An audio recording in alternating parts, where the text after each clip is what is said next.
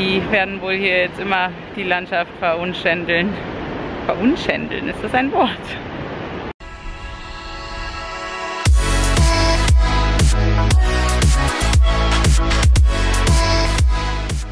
Einen wunderschönen guten Morgen aus Teneriffa. Wir sind auf dem Weg zum Frühstück und ich habe schon den ersten Schluck hinter mir bin nämlich aufgewacht.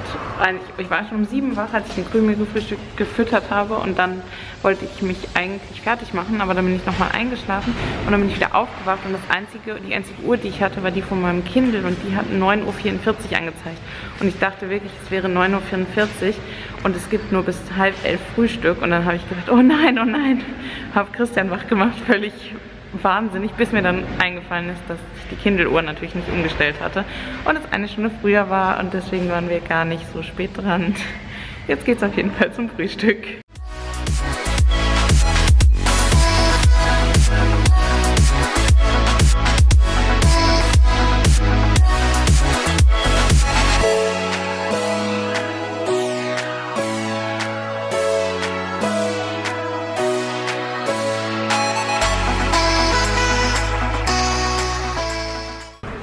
Frühstück war wie immer super lecker. Was ich hier ganz toll finde beim Frühstück sind die frisch gepressten Säfte, die man hier bekommt. Die machen die ganz frisch und es gibt immer verschiedene Sorten.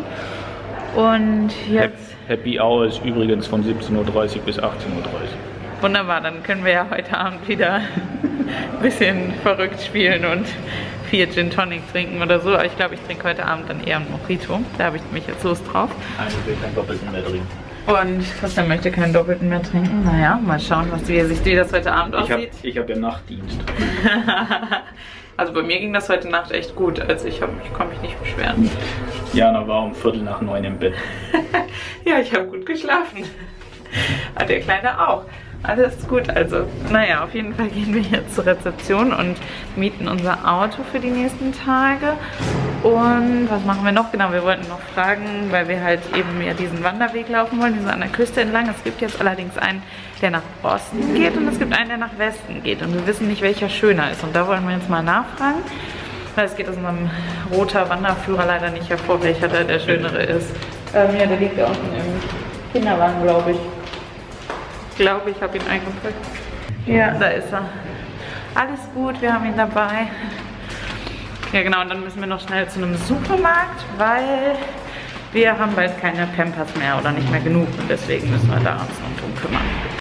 So, Auto ist reserviert ab morgen für drei Tage und wir haben uns jetzt entschieden, dass wir den Wanderweg Richtung Ost Westen, Westen. Westen nehmen. Und der soll landschaftlich wohl schöner sein. Und jetzt machen wir uns noch eben auf den Weg zum Supermarkt. Der ist auch hier um die Ecke und dann geht's dann los.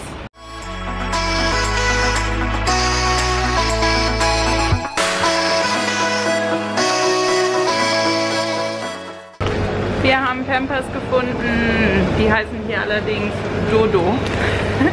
Und wir sind jetzt noch auf der Suche nach Wasser und erkunden währenddessen mal den Rest vom Supermarkt. Ich finde das ja immer total spannend, in fremden Ländern im Supermarkt zu sein.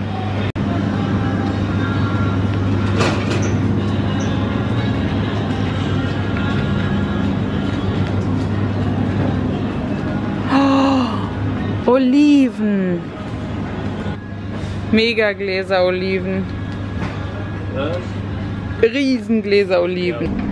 Hier kann man sich Orangensaft abfüllen. Da sind extra da so kleine Flaschen. Da kann man das dann reinmachen und dann kann man das mitnehmen. Das ist echt cool. Ganz viel Olivenöl gibt es hier. Mega cool. Das ist bestimmt viel, viel besser als das, was es bei uns in Deutschland gibt und vor allem viel, viel günstiger.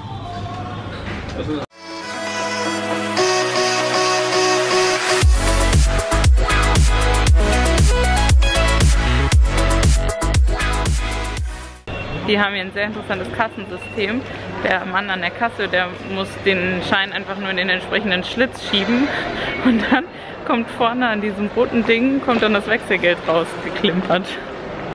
Ich zeige mal gerade, wo wir herlaufen. Also wir werden hier ungefähr starten am Westende von Puerto de la Cruz und dann werden wir hier an der Küste entlang laufen. Sehr wahrscheinlich erstmal bis hier Und in der Wanderbeschreibung steht dann drin, dass man das, wenn man möchte, noch bis hier, bis nach San Juan de la Rambla verlängern kann. Aber das müssen wir mal gucken. Das sind, ist eine ziemlich lange Strecke. Ob wir das machen, weiß ich nicht. Aber auf jeden Fall wandern wir bis hier.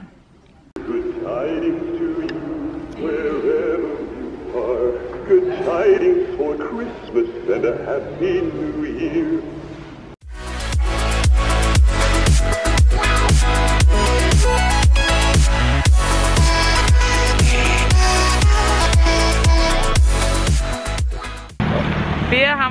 Mit dem Taxi hierher bringen lassen und der Taxifahrer war ganz schlau, der hat uns nämlich schon ans Ende vom Wanderweg gebracht, dass wir nur noch zurücklaufen müssen, weil wenn wir nämlich später hier angekommen wären, wären wir von hier nicht wieder weggekommen. Macht Sinn.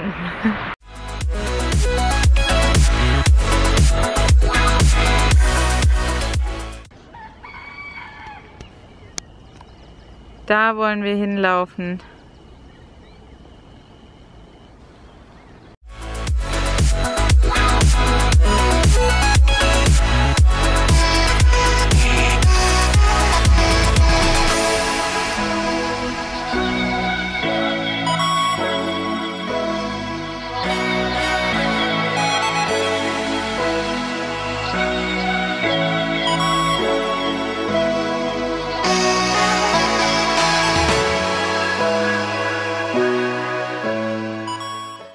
Richtig große Wurzeln von dem Riesenbaum hier. Bis jetzt gefällt uns der Wanderweg richtig gut. Es ist hier voll schön, die Ausblicke sind super schön und überall knistert es und knackt es, weil es überall kleine Geckos oder Echsen gibt. Die sind hier in, echt in jeder Ritze versteckt. Und ja, die Temperaturen sind gerade perfekt. Also jetzt im Moment ist das Wetter einfach super. Ich glaube, auf den Kanaren ist es sowieso eigentlich immer eigentlich recht angenehm.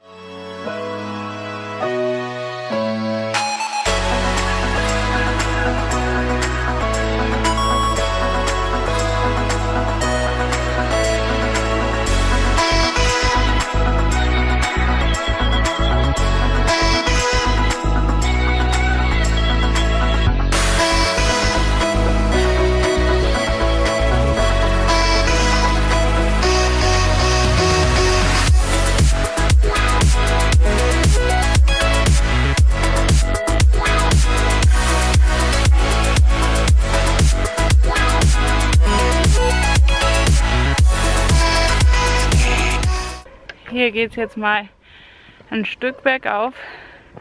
Und es ist quasi fast windstill. Und die Sonne brennt.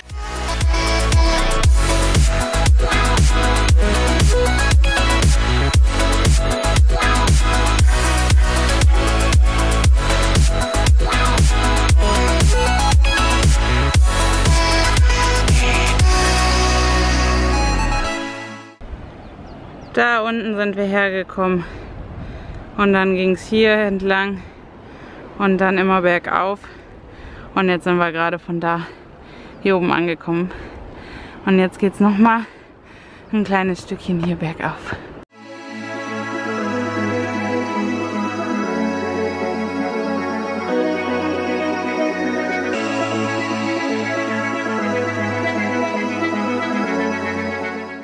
Wir haben gerade zwei richtig typische Amerikaner getroffen.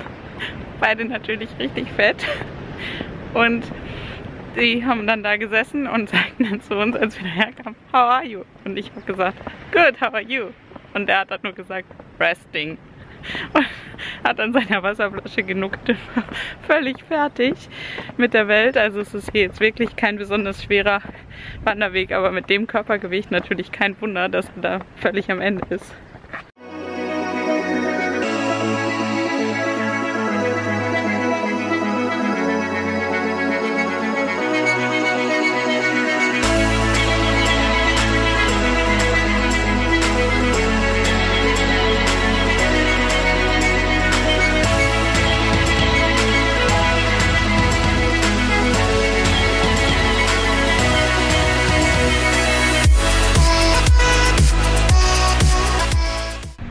Haben den Weg verloren.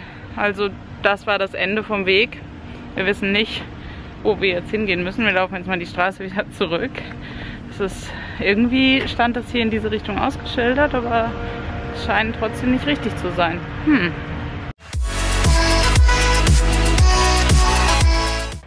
Wir sind wohl wieder auf dem richtigen Wanderweg, hoffen wir.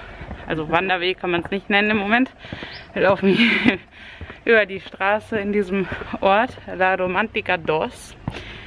Oder ist es Uno? Ne, Dos ist hier, ne? Uno war schon, sind wir schon vorbei. Und ja, wir hoffen, dass es jetzt gleich nochmal schöner wird. Laut Wanderführer soll es gleich nochmal eine schönere Strecke geben, die halt wieder nach einem Wanderweg aussieht und auch an der Küste entlang und an der schönen Bucht. Mal schauen. Wir sind definitiv wieder auf dem richtigen Weg.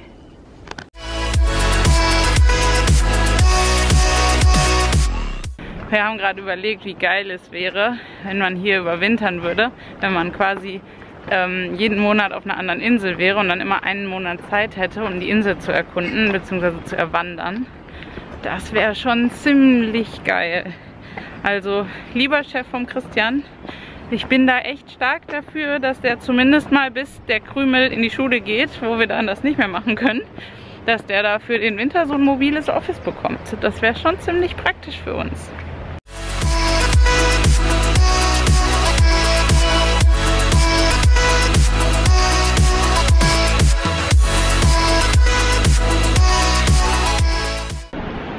Das ist mal ganz übler 50er Jahre Bau hier. Das sind wahrscheinlich die Hotels, die gerade hier gebaut wurden, als die Tourismusregion hier am Boomen war. Und die werden wohl hier jetzt immer die Landschaft verunschändeln. Verunschändeln, ist das ein Wort? Ich glaube, es heißt verschändeln.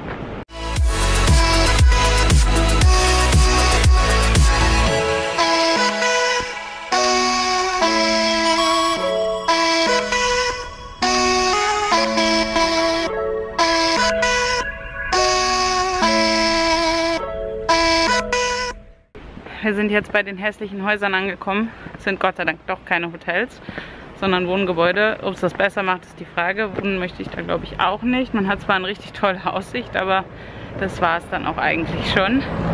Hm, ich denke, wir sind jetzt schon wieder in Puerto de la Cruz. Ich glaube, der Wanderweg an sich ist jetzt vorbei. Und wir schauen jetzt mal, dass wir irgendwo vielleicht eine Kleinigkeit zu essen bekommen, weil mein Magen krummelt schon wieder so langsam. Wir haben doch falsch gelegen, das ist tatsächlich ein Hotel. Es ist das Maritim Hotel, was im Wanderführer als Startpunkt der Wanderung angegeben ist, wenn man die Wanderung in die andere Richtung macht.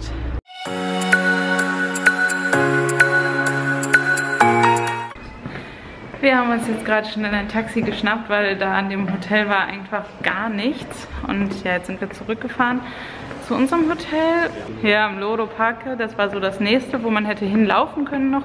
Da wäre es wahrscheinlich auch schwierig gewesen, ein Taxi zu bekommen. Und wir hatten Glück, dass da gerade eine Taxifahrerin war, die gerade Gäste zum Maritim Hotel gebracht hat. Und die haben wir uns dann gleich angehalten und die hat uns jetzt hergefahren. Hat jetzt 6,55 Euro gekostet, also war jetzt auch nicht so mega teuer. Und jetzt sind wir wieder im Hotel und jetzt wollen wir mal so ein bisschen entspannen nach der Wanderung werden uns jetzt gleich mal noch an den Pool legen und noch eine Kleinigkeit essen hoffentlich, weil ich nämlich echt Hunger habe jetzt. Christian hat keinen Hunger.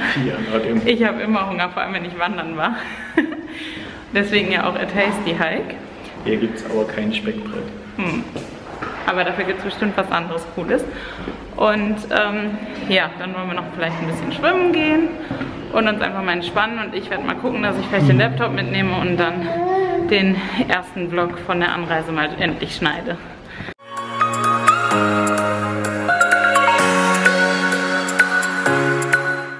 Hat leider nur noch Sandwiches gegeben, damit müssen wir uns jetzt zufrieden geben. Äh, ich schneide gerade den ersten Vlog von der Anreise und Christian kümmert sich um den Krümel und wir genießen einen Wein und ein Bier. Und ja, die Sonne ist leider gerade ein bisschen weg und wir hoffen, dass sie gleich wiederkommt, damit wir dann uns vielleicht noch auf eine Sonnenliege legen können. So, der erste Vlog ist geschnitten. Kann aber sein, dass ich den erst wieder hochladen kann, wenn wir in Deutschland zurück sind weil leider das Internet hier wahrscheinlich recht schlecht ist. Aber ich werde den Laptop nachher mitnehmen, wenn wir an die Bar gehen und das Ganze mal testen, was es dann sagt, wie lange es geht. Und dann kann ich entscheiden, ob wir das schaffen oder nicht. Jetzt gehen wir auf jeden Fall. Zehn Mojitos später. Was? Zehn Mojitos später. ja, heute gibt es auf jeden Fall Mojito an der Bar. Habe ich ja schon gesagt, glaube ich. Und jetzt gehen wir zurück zum Zimmer Hm. und duschen und ja, sind, machen alles ganz entspannt. Dann geht es zur Bar und dann zum Abendessen.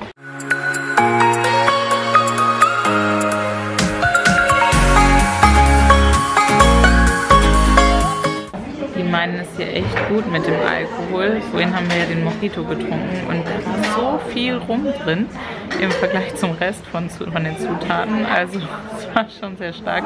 Zum Glück haben wir diesmal nur zwei Mojitos geteilt. Und jetzt trinken wir lieber noch ein Glas Rotwein und ein Glas Bier, bevor wir zum Essen gehen. Und dann gibt es danach noch einen Wein beim Essen.